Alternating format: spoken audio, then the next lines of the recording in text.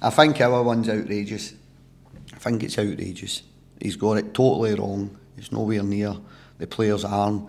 It's really disappointing to be fair because I think it's an easy decision to make. I was behind the ball and I knew it well. I, thought it wasn't a handball, but to be looking down the line of the ball and seeing the player, I think you've got to understand it's not a handball. So I don't think I think I've got to give Motherwell credit. I don't think we've done enough within the game to win the game of football. But it's disappointing to lose a game of football on a a bad refereeing decision.